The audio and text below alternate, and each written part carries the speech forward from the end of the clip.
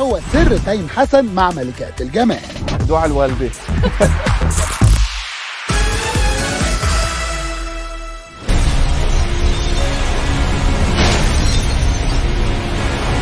نادين جيم نيكول سابا سيرين عبد النور فاليريا أبو شعرة وإيمي صياح هم دول بطلات مسلسل الهيبة باجزائه الخمسة.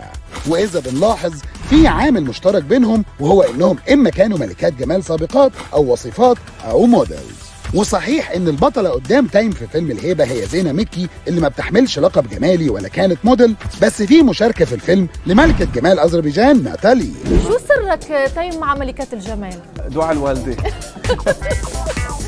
لا بدنا نعرف. الحقيقة أنا ما كنت بعرف ما كنت بعرف والله إن هي ملكة جمال. هي في صبية عم تصور في لها دور معنا.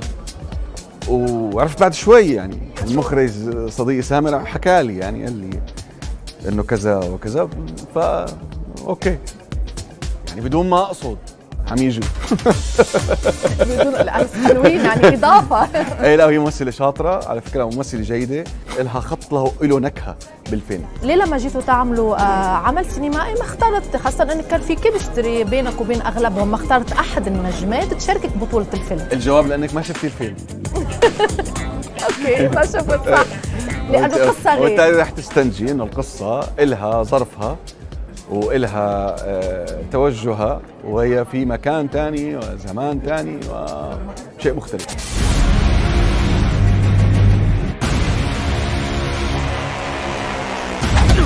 صحيح فالعمل بتدور احداثه بين بلغاريا وتركيا. وصحيح إن خطه العريض هو جبل والهبه والانتقام بس من خلال الأحداث بندخل عالم عصابات تهريب الآثار الإتجار بالبشر وقضايا اللاجئين السوريين ومعاناتهم خلال رحلة بحثهم عن اللجوء.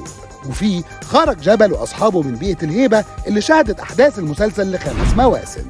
تصوير بتركيا ما خوفك شوي؟ لا ابدا. و- و- ولل- وللدقة نسبة التصوير بقدر أقول كنسبة أكثر من 95% بتركيا فهو عمل تقريبا بالكامل برا.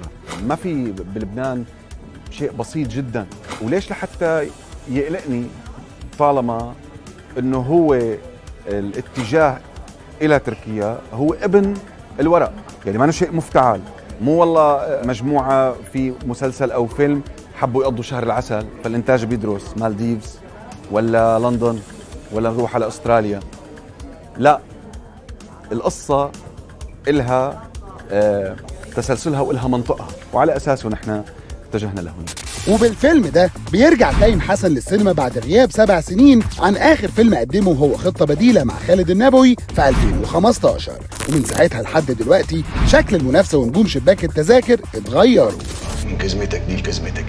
دي بتفكر بالإيرادات وإنه فيلمك ينافس بقاعات السينما؟ ما بخفيكي إيه إنه الواحد آه، للحظة معينة ولو إنه هذا تفكير إنتاجي بشكل من الأشكال بيكون أكل همه المنتج. أنا بيعنيني الحقيقة بالدرجة الأولى آه، إنه نقدم شغلة لائقة تنحب وبناحيه ثانية بتمنى فعلا يستمر وتشوفوا ناس ناس كثير تشوفوا ناس كثير يعني ايرادات وهذا شيء أتمناه يعني يا رب.